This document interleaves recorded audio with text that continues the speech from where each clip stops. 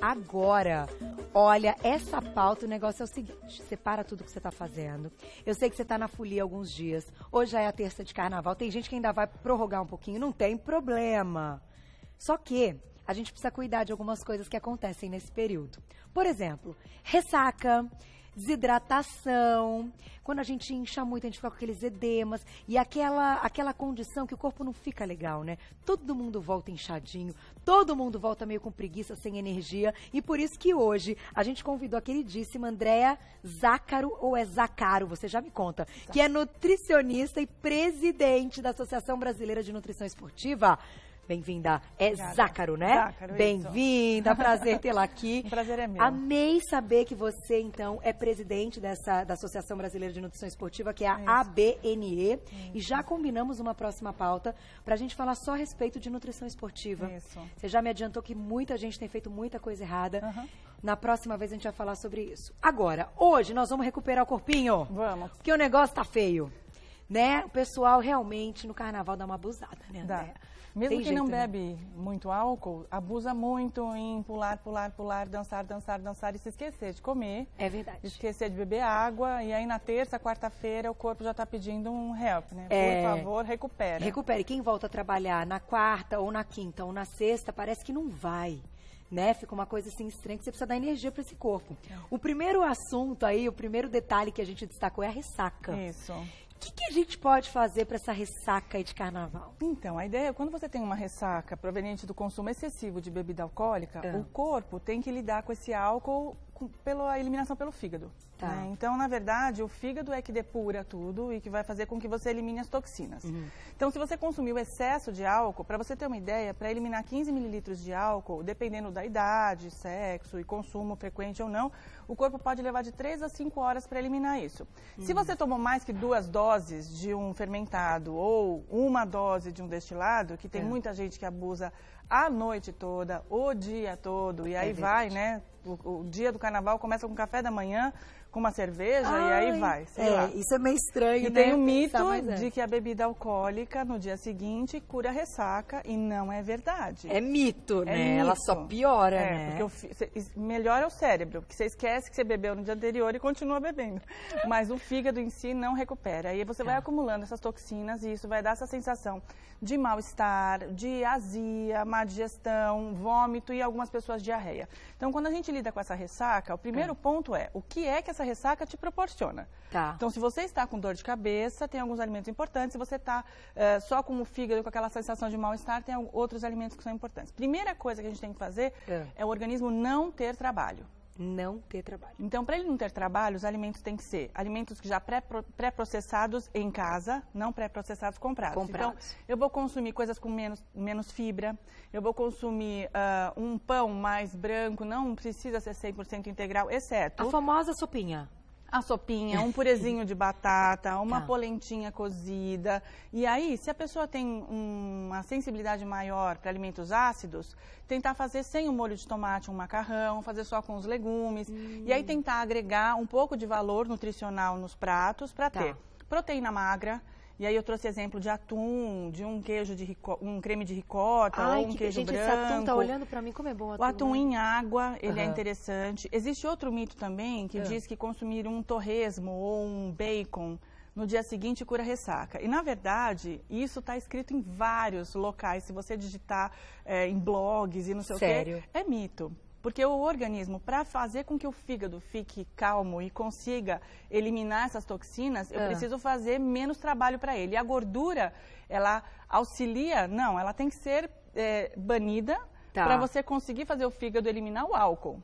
Senão ele vai ter que processar a gordura, gordura junto. junto. Aí fica mais difícil. Exato. Então, mas, na verdade, para você diminuir essa quantidade de toxinas, a primeira coisa, pensando no fígado, Ah. é fazer com que ele não tenha tanto trabalho. Então, evitar Tá. Alimentos ultraprocessados, né?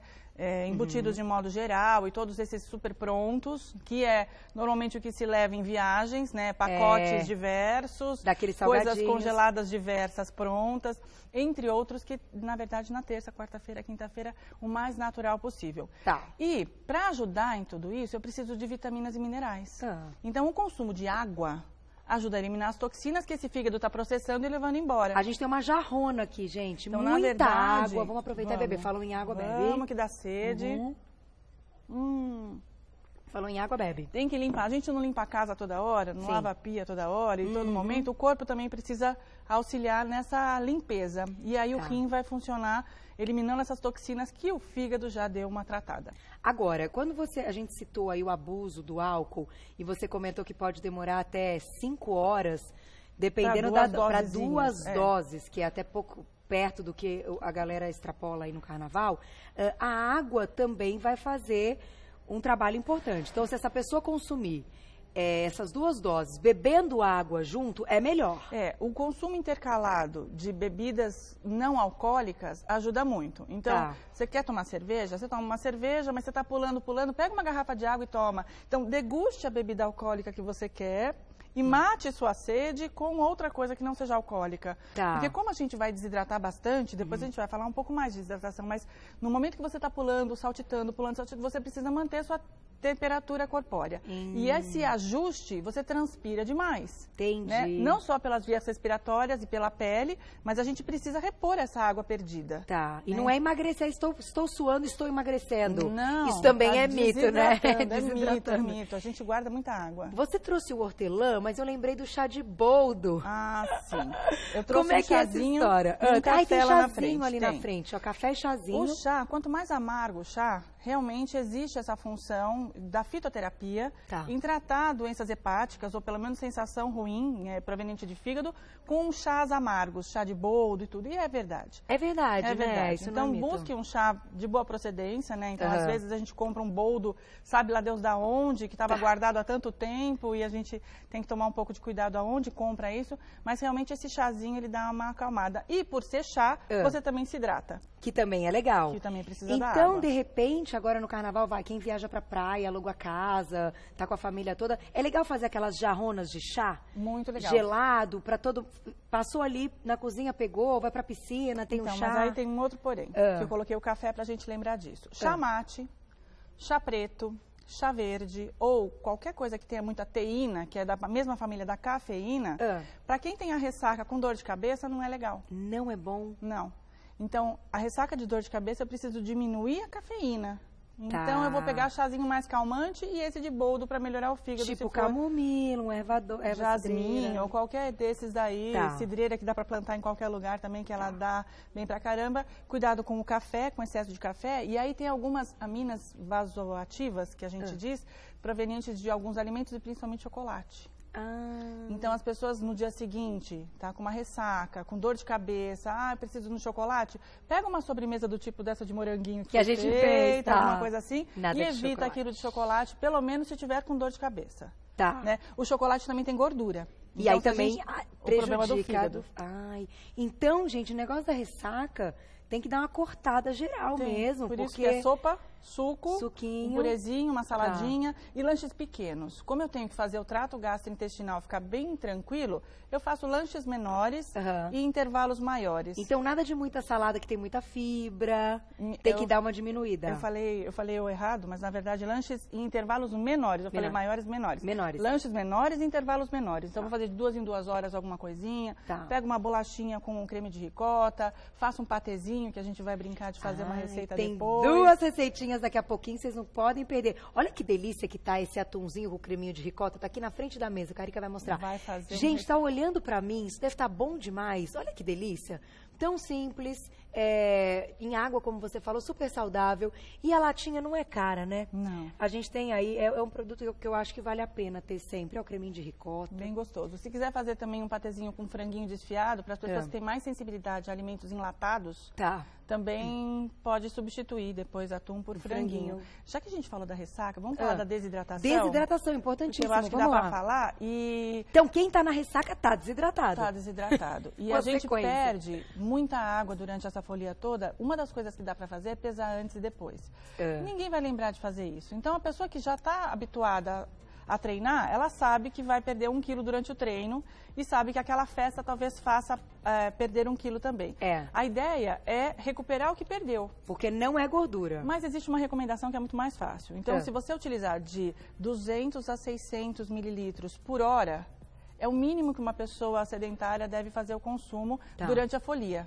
Tá. Então, se você vai fazer o consumo de 500 mililitros de água durante a noite toda, Ah. de 300 a 500 por hora, e você vai pular 4 horas, você vai tomar bastante Dois água. litros, pelo menos. Pelo menos. Então, gente, o negócio é estar com a garrafinha o tempo todo. Exatamente. Não esquecer da água. O princípio, então, dessa desidratação é repor água. Agora, a gente pode repor com alimentos, Pode, frutas, até legumes. Aliás, como a gente já falou, a gente já teve todo esse processo do fígado. O intestino, se não estiver com diarreia, que aí tem que fazer outra orientação, né? Quando que na tem verdade diarreia, é. tem que fazer aquela alimentaçãozinha bem hospitalar mesmo, né? É. Pra tentar recuperar. Aham. E na verdade tem que esperar um pouco, tem que descansar, porque se, se a ressaca chegou numa sensibilidade de diarreia, tem que dormir bem, comer bem, pouca fibra, Tá. fazer o alimento realmente ter uma, um conteúdo maior intestinal, Tá. para depois poder fazer o consumo de bastante fibra, que aí as cascas de frutas e os sucos vão ter mais. Legal. Mas pensando nesse fato da desidratação, se eu consumir bastante fruta, a fruta tem uma, uma quantidade de água muito grande. Fruta, salada, de modo geral, as Aham. sopas mesmo. Então eu consigo me reidratar na alimentação também, durante as refeições também. E isso é muito importante, já que assim, ai, Carol, tô com uma preguiça de beber água.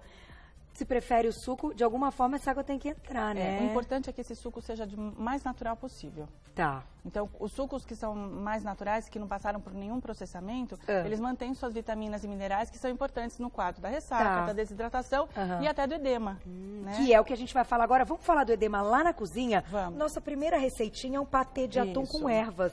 Ele é legal, então, para esse inchaço, esse edema, que é o que a gente volta do carnaval. É. Tá todo mundo inchado, impressionante. A ideia de fazer esse atum, o atum ele é ótimo para ressaca. Então, precisa de um pouco de proteína É. para o fígado auxiliar nessa eliminação de toxinas. Então, Tá. na verdade, eu pensei principalmente no, no patê de atum para o dia da ressaca, Aham. pensando no fígado. No fígado né? também.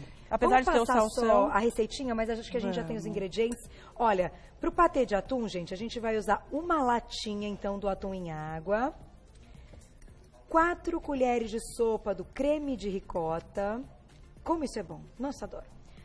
Duas colheres de sopa de salsão picado. Duas colheres de sopa de salsinha picada duas colheres de sopa de cebola roxa também picadinha e uma colher de sopa de semente de linhaça triturada ou de Ou repente inteira. inteira. É. Eu peguei a semente de linhaça, a dourada. Tá. A, a diferença da dourada e da marrom é que a marrom ela é cultivada em locais é, em trópicos, então precisa do uso do agrotóxico. Ah. E a dourada não tem. Ela é mais cara, pode Tá. fazer o uso da outra. Mas como ela não tem agrotóxico, ela agride menos o organismo. Ah, Eu legal. misturei já o creme de ricota e, na verdade, isso aqui é uma, uma dose que você pode fazer de acordo com o seu gosto. Tá. Eu fiz com um pouco mais de creme de ricota, como se fosse no lugar do requeijão. Lembra do requeijão? Ou da maionese, é. Eu não tenho nada contra a maionese. Eu acho que a maionese é super bem-vinda, né? A gente tem uma, uma quantidade muito legal de vitaminas e minerais. Cuidado Ah, é? com maionese caseira, porque o ovo, né? Se a gente fizer, Salmonela, tem que né? tomar um cuidado porque vai ficar exposto e tudo. Então, o creme de ricota deixa mais light porque eu diminui o teor de gordura, tanto do queijo Tá. quanto do atum. Poderia ser um queijinho cottage, quem tiver. Poderia, poderia. É eu que a- acho o que creme a- de o ricota creme- dá uma textura E ele não patê, tem gosto né? de nada, a verdade é essa, né? Então, É. um creme de ricota, eu também. Mas ele não tem gosto, Mas então você você que pode misturar com alguma tudo. coisa, É. é. Então, aqui a ideia de fazer isso, cuidado, tem gente que tem mania de temperar muito. Bota azeite, ah, cuidado. Aí vai Não virar- é pra pôr muito tempero. É. A ideia de colocar o ingrediente do jeito que você quiser, eu prefiro misturar as sementinhas antes, porque elas são as mais difíceis de misturar para dar uma textura Olha parecida. que legal, gente, colocar linhaça no, no patê. Nunca pensei nisso. Ai, fica bem Ótima legal. maneira de, de incluir. É. Porque às vezes a gente fica olhando e não sabe como incluir na alimentação. Você olha lá que eles brincam, ah, comida de passarinho, etc.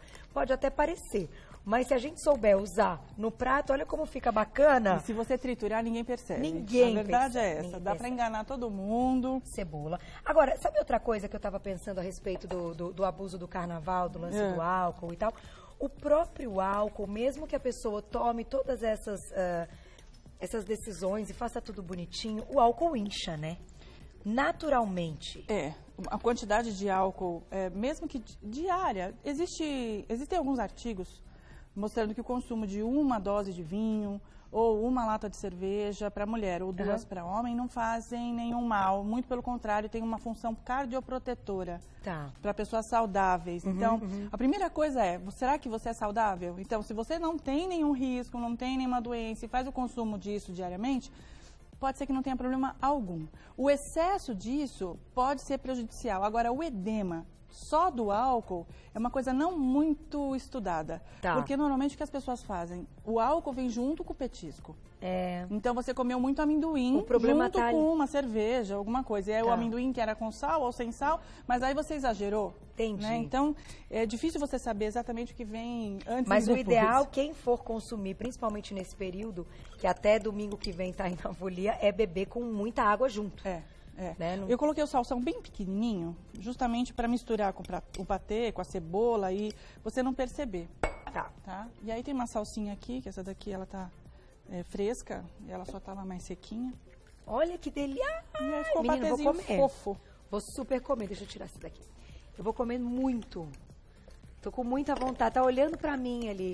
Sabe desejo? Mas eu não tô grávida, hein, gente? Pelo amor, hein? Se falar desejo assim no ar, já acho que já tá grávida, Ó, que não sei o quê. E quem quer uma textura um pouco mais lí- líquida, né? Pode misturar um pouquinho de leite, de iogurte, de mais creme de ricota. E ficou um patê fofo. E Dá aí, se a usar. pessoa quiser colocar num, num- fazer um sanduíche com esse recheio, que pão que você diria que é bacana? Então, se a pessoa está com má digestão, né, um É. pouco de azia, eu acho interessante. Eu tenho um Ah, potinho tem para um aí, aqui. tem um aí, Omar. É. Eu acho interessante a pessoa fazer uso de pão branco ou Tá. com baixo teor de fibra, para a digestão ser mais rápida e não precisa comer muito, né? Então, é só para você dar uma você... degustadinha. Não, vou super. Deixa eu pegar uma colherzinha aqui. Diretora, essa parte é mais difícil. Ele está Sensacional. sem sal, Isso porque o atum já não tem. precisa. Não tem necessidade. Ah, vou comer tudo. Vamos pra salada? Fome, Vamos. Né? Bom, Eu vou pôr isso hora, pra fome. cá. Gente, Ah. que delícia. Faz e come assim, ó. Põe numa salada, a gente vai fazer a salada agora. Aliás, Deixa eu só lavar aqui. essa vou- saladinha, peraí, ela está aqui. É uma salada diurética, oba! Aham. É tudo que a gente precisa. E na verdade eu juntei outro, outro benefício dessa salada também, que é a pele. Então a gente colocou cenoura e beterraba, Nossa. que contém bastante beta-caroteno. Uhum. Então a pessoa já tomou sol pra caramba. A ideia mesmo é de consumir um mês ou dois meses antes de se expor ao sol Tá. um conteúdo maior de beta-caroteno. Nas minhas orientações eu sempre falo, coma diariamente um alimento alaranjado. Cenoura, abóbora, mango, mamão e a batata doce, que hoje está em alta para quem pratica exercício, também tem bastante Jura? é, Pode mudar tudo. Exato. Então dá para utilizar diariamente isso, melhora a cuidade visual. Então a gente, quem tem cegueira noturna, quando tem entardecer e fica meio com a vista ruim, pode estar relacionado a isso, Tá. né, com a falta de vitamina A. Então a gente colocou um pouquinho de cada, na verdade está ralado Gente, uma tá inteira, mas é para usar menos. Olha como é fácil e, e barato, né? A gente vai usar dois talos do salsão, Salsão. Que ele vai entrar aí na nossa receita. Então, essa é a salada diurética. Acho Eu vou começar tem- pelas folhas, Tá que eu acho mais legal. A gente tem, né, as imagens. Aí, dois Isso. talos de, de salsão, uma pera, olha que ideia bacana. Um pé de alface, É, eu tô diminuindo cortando, só... né? É. Meio maço de rúcula. E é claro, as quantidades vai depender aí quantas pessoas a gente vai servir. Duas colheres de sopa de salsinha picadinha. Duas colheres de sopa de cogumelos picados. Você escolheu Paris, né? Uma cenoura ralada. Uma beterraba ralada. Também olha como fica linda a beterraba raladinha. E meio pepino em rodela se quiser usar o pepino. Agora, me conta, tudo que tá aqui tem poder diurético. Tem, as folhas de modo geral tem, principalmente a parte do talo. As pessoas costumam jogar fora o talo das coisas, né? Então, o talo do brócoli, o talo do salsão, o talo da salsinha, o talo, talo Não de pode. tudo é muito diurético. Tá. Ele tem uma quantidade legal. A selga é super diurética. Tem uma couve japonesa que eu acho Hum. o máximo. Ela parece uma, uma- parece uma rúcula, mas ela é- tem uma ação grande com um talo Ah, eu que é sei. muito diurético. Ah, couve, Muito é, diurético. é, couve chinesa? Couve chinesa. É, ela, Chinesa tem, ela tem um desenhinho. Eu acho que eu sei Tem qual uma, é. a, a que eu tô falando, ela é mais lisinha assim, mas ela é uma mação. De qualquer maneira, se você digitar em algum lugar couve japonesa ou couve chinesa, vai aparecer uma que parece uma selga, só que mais verde Menorzinha. Bom, que é super diurética. A ideia é pensar no talo. Então, o talo da alface, o talo da rúcula, o talo de tudo, de salsão e de outras coisas Por que, é bem legal. Uma pergunta, que eu sou louca por tomate, né? Por que, que o tomate não tá aqui? Por algum motivo especial? Então, na verdade, é, o tomate poderia estar aqui. Inclusive, o suco de tomate, ele é muito legal para quem está de ressaca ou É. para quem precisa melhorar a pele também, porque ele tem licopeno, que é antioxidante. E todos esses vendidos em feira, exceto É. pastel e garapa, né? Todos os outros, eles são importantes nesse momento de recuperação de pele, Aham. de recuperação de água e de recuperação hepática e renal e tudo. A gente tem uma quantidade muito grande de vitaminas e minerais em todas as frutas, verduras e legumes. Então, a Tá. ideia inicial é que uma alimentação balanceada te fornecesse no café da manhã, almoço e jantar, pelo menos 10 itens, É, de 5 a entendo. 10 de frutas, verduras e legumes. A gente está focando em alguns que são mais importantes para esse momento e que a gente consegue utilizar mais. A salada, de modo geral, ela é fresca Uhum. e eu estou introduzindo aqui coisas que são importantes para a diurese, que Perfeito. aí, na verdade, a gente está falando de um- uma pera, que é A super pera legal. também é legal? Pera eu é achei muito legal, essa legal. ideia. Então Ô, dá pra gente, eu tô colocar- comendo, tá? Porque tá muito bom isso aqui. Eu vou misturar Quando tem aqui, os negócios então. aqui que eu amo, eu como tudo. Agora vem a parte da decoração da salada, né? Que aí cada um põe no, no pote que quiser. Eu coloquei o salsão cortado de maneira diferente. Olha que Que eu acho que a ideia de colocar o salsão... Ele também deixa mais bonita, né? Deixa. Gostei Só que ideia. bastante salsão. Então, assim, momento de comer pouca salada, mas com bastante salsão. A salsinha, Sempre, super né? diurética. Eu podia colocar um hortelã, se eu o quisesse. coentro é aqui. legal também? O coentro também. É que as pessoas. Tem muita gente que não gosta do coentro, mas ele também tem função tipo salsinha, assim. Tem. É, a gente você tinha me perguntado do tomate, o único cuidado é para tentar tirar a pele do tomate, tentar tirar a semente. E se a pessoa está com acidez, evitar o ácido. E o Tá. tomate é bem ácido. É bem ácido, por isso que hoje ele não É. tá. Eu coloquei o cogumelo, mas pode ser cogumelo, pode ser aspargos. Aspargos é muito legal também. Aspargos também é diurético? Hum, aspargos, na verdade, tem uma função principalmente hepática. Olha que legal, não tinha nem ideia. Muito legal. E aspargos é muito bom. Mas é muito caro também, né? Então a ideia de É. trazer alguma coisa um pouco mais. Não, concordo com você, bem acessível. acessível. Enquanto você vai montando, eu vou passar o seu contato. Gente, a Andrea é sensacional. Manda hiper bem. Vai ir. Você guarda meu atumzinho. Quando acabar, eu vou comer. Olha, um dos melhores patês de atum que eu já comi. Eba. Arrasou muito, Eba. muito, muito, muito bom. Eu vou passar o telefone que é o 4438 8584 4438 8584. Você tá nas redes sociais?